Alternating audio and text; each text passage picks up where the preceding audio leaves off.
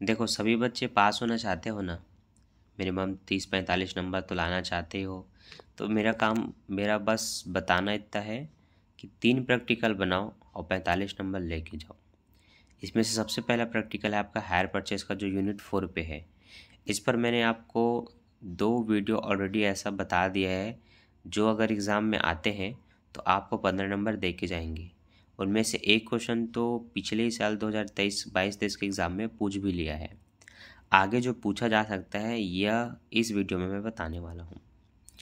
साथ ही साथ आपको और भी ऐसे चैप्टर के प्रैक्टिकल में बना बना के अपलोड कर रहा हूँ, आई एम पी प्लस उसका पूरा सोल्यूशन, ताकि जो बच्चा शुरू से नहीं पढ़ा है, वो अभी देख करके सीख सके, प्रैक्टिस कर सके और एग्ज़ाम में ये सेम क्वेश्चन आएगा तो बना सके। ठीक है? तो आप सभी को भी मेंबरशिप ज्वाइन कर लेना है और इस वीडियो को पूरा ध्यान से देखना है और सीखना है, ठीक है? चलिए। क्वेश्चन में बताया है कि चार लाख साठ हज़ार रुपये में किराए के पद्धति पर वाहन खरीदने के लिए कोई सहमत होता है और एक अप्रैल 2023 को, जबकि वाहन के लिए इस कंपनी ने साठ हज़ार रुपये नगद दिए। शेष राशि का भुगतान अस्सी हज़ार रुपये और पाँच परसेंट ब्याज की वार्षिक किस्तों में किया। डी कोल्ड लिमिटेड की पुस्तक में वाहन खाता विक्रेता खाता खोलिए मतलब दो ही खाता खोलना है। और मूल लागत पर दस परसेंट हरास काटती है। देखो, ब्याज की गणना करनी है तो जितना नगद मूल्य है और जितना तत्काल दिया है, दोनों को घटा के ब्याज निकालना होता है पाँच परसेंट का। इस प्रश्न का हेडिंग क्या है कि किस्त में ब्याज शामिल नहीं है, ठीक है? तो किस्त में ब्याज शामिल नहीं है तो आपको जो किस्त पटाई जा रही है, वह मूल किस्त है। उतना ही किस्त आपको बार बार देना है। तो यहाँ पर आप ब्याज की गणना को देखेंगे। यहाँ पर बताया है कि पहला कॉलम ईयर्स का रहेगा, फिर आपका कैश प्राइस का रहेगा, फिर कैलकुलेशन का रहेगा, फिर इंटरेस्ट के अमाउंट का रहेगा, फिर यहाँ पर आपका जो किस्त होती है उसकी और इसमें किस्त के साथ ब्याज जोड़ के जो आता है वो हाँ राशि। तो यहाँ पर आपने ईयर लिखा 2016 परचेसिंग डेट एक अप्रैल, चार लाख साठ हज़ार में नगद आपने डाउन पेमेंट कर दिया साठ हज़ार का तो आपका चार लाख आया, जिस पर पाँच परसेंट ब्याज निकालेंगे तो आपका बीस हज़ार निकला। आप हर साल अस्सी हज़ार देंगे, लेकिन उसमें आप बीस हज़ार को जोड़ देंगे ब्याज को तो आपको उस साल का किस्त रहेगा एक लाख रुपए, ठीक? ये साठ नहीं भी लिखेंगे तो चलेगा। आगे आगे आप अस्सी हज़ार को इसमें घटाइए। देखो, जिसमें ब्याज शामिल नहीं है, वह मूलधन राशि को आप इधर के राशि से घटाते जाएँगे। तो अब हर साल अस्सी हज़ार देना निश्चित है, जिसमें आप ब्याज जोड़ोगे तो यही अस्सी हज़ार रुपये मूलधन है जिसको हर साल घटाना है। तो यह अंतर होता है पहले के टॉपिक और इस टॉपिक में। उसमें ब्याज शामिल होता है तो आप किस्त में से ब्याज को घटाते हैं, फिर जो है उसको इसमें घटाते हैं। लेकिन इन प्रश्नों में जो किस्त बताया जा रहा है वही मूलधन है। इसमें ब्याज शामिल नहीं है, इसलिए उसी अमाउंट को हर साल देखो अस्सी अस्सी हज़ार रुपये हर साल घटाया गया है। जो घटाने से आ रहा है उसी पर पाँच परसेंट ब्याज निकाला जा रहा है लाइन से उन्हीं को अस्सी अस्सी में जोड़ करके ये एक लाख ये छियानवे हज़ार, ये बयानवे ये अठासी, ये चौरासी करके बना दिया गया, ठीक? ये हो गए ब्याज की गणना।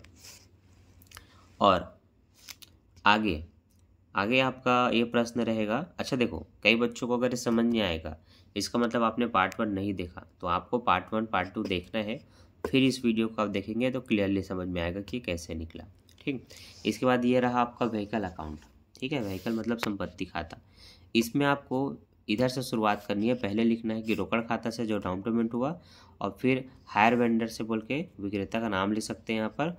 उसका वह राशि जो आप दे रहे हैं मूलधन के रूप में तो वह आप किस्त की राशि कितना दे रहे हैं? अस्सी हज़ार, जो कि कुल मिला के एक लाख चालीस हुआ।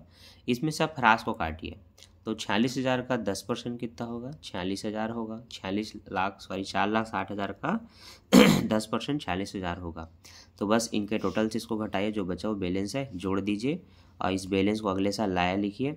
दूसरा किस्त तो वही अस्सी हज़ार लिखिए, दोनों को जोड़िए, छियालीस हज़ार ही घटाइए। क्यों सर छियालीस हज़ार ही क्यों घटा रहे हैं क्योंकि ये जो ह्रास की दर है वो मूल लागत है। मूल लागत मतलब स्थायी किस पद्धति, उसमें एक बार जो ह्रास निकला उसी को दोहराना होता है। यह सबसे सरल क्वेश्चन है और यह कई यूनिवर्सिटी के द्वारा पूछा जा चुका है।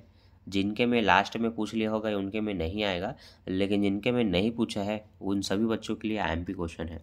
मैंने पहले ही बोला है, मैं जितने वीडियो बनाता हूँ, वो सारे छांट करके आपके लिए बिल्कुल फाइंड करके इंपॉर्टेंट क्वेश्चन की वीडियो बनाता हूँ।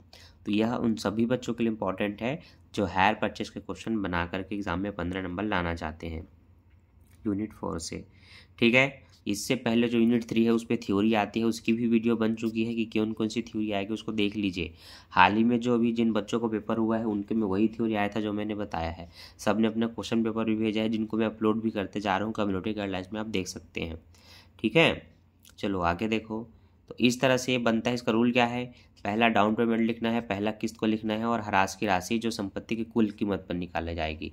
संपत्ति की कुल कीमत है चार लाख छियासी हज़ार छः साठ हज़ार, जिसका दस परसेंट आप यहाँ पर बोला है मूल लागत पर।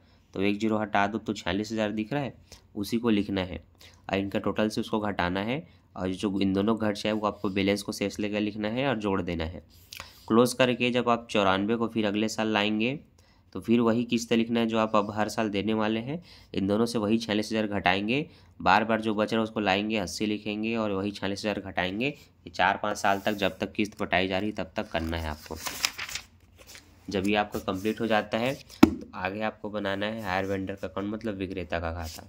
विक्रेता को देखो, आप अस्सी हज़ार दे रहे हो और साथ में बीस हज़ार का ब्याज दे रहे हो पहले साल पे। उन दोनों को यहाँ समाकलन में लिखो कि व्हीकल से अस्सी हज़ार और ब्याज का कितना है? बीस हज़ार जोड़ के एक लाख रुपए तो रोकड़ खाता से एक लाख रुपए, एक लाख से क्लोज अगली साल आप अस्सी दे रहे हो, लेकिन ब्याज का सोलह हज़ार दे रहे हो। ये सब कहाँ है? तो भैया, ये सब आपका यहाँ ब्याज की गणना में है। ये आप देख सकते हो, बीस हज़ार, सोलह हज़ार करके पूरा, ठीक है? तो इन्हीं सभी राशि को आप क्या करेंगे? यहाँ लाइन से लिखते जाएँगे। पहला किस्त, पहला ब्याज एक लाख लिख दिए। दूसरा किस्त, दूसरा ब्याज छियानवे हज़ार लिख दिए। तीसरा किस्त, तीसरा ब्याज बयानवे हज़ार लिख दिए। वही वही चीज़ों को लिख देना और खेल ख़त्म।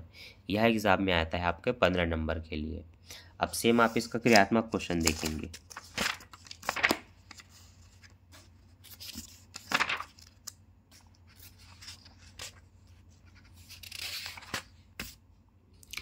स्पष्ट रूप से लिखा रहेगा कि interest is not included in the installment किस्त की राशि में ब्याज का शामिल ना होना।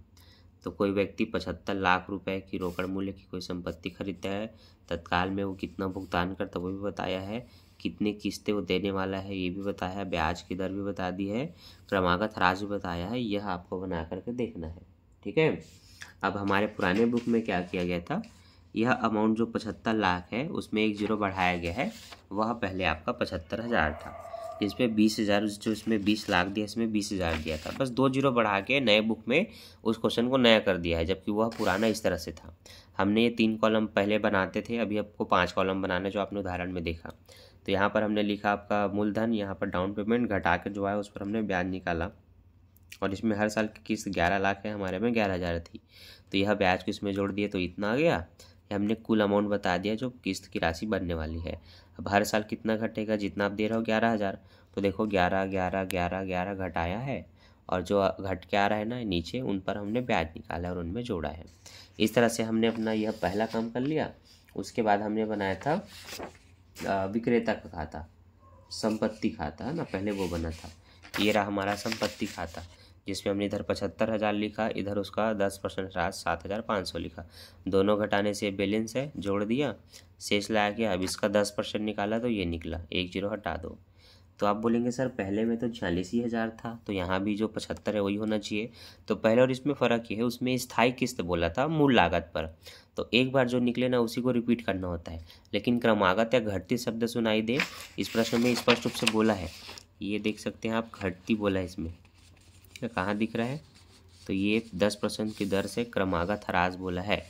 इसलिए इसमें हर साल ना जो घट के आएगा, उसका दस परसेंट लगाओ। जैसे अब ये आ रहा है, इसका दस परसेंट साठ पचहत्तर रहेगा। ये इस तरह से पाँच साल का बनेगा। ठीक? विक्रेता खाता तो बहुत ईजी है। वह आप बना लेंगे। मुझे उम्मीद है। तो आप उसकी प्रैक्टिस कीजिए। मैं मिलता हूँ नेक्स्ट वीडियो में। Thanks for watching